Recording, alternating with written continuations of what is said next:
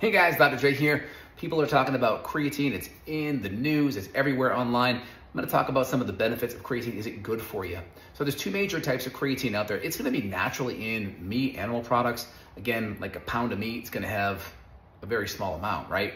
Maybe the five or so grams per serving. It may take tens of pounds of meat, right? So there's a benefit from a potency and a, and a, purity of getting really high levels of creatine. It's just something you can't get from foods. People say, hey, get it from food. You're just not going to be able to get it from food.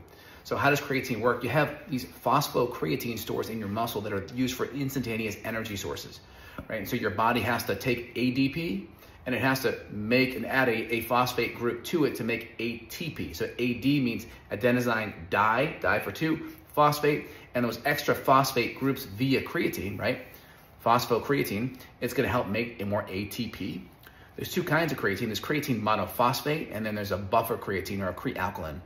People that complain of like that bloat, that's part of the benefit of creatine. It draws more water into your muscle, helps flush out lactic acid. It can also have some cellular benefits, increasing growth hormone and repair and less soreness afterwards.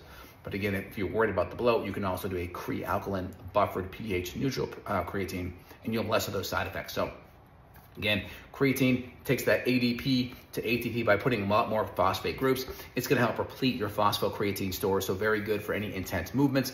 Also very good for recovery afterwards. It's gonna help hydrate your muscles. It's gonna help draw in more water for that muscle. It's gonna help dilute the hydrogen ions and have less lactic acid and less soreness afterwards. That hydration is also gonna help improve muscle repair and it's gonna improve growth hormone levels as well. How much should you take? I would say five to 10 grams before intense exercise, an hour or so is great.